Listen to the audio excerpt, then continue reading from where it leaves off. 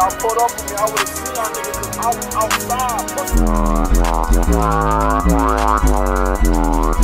was outside.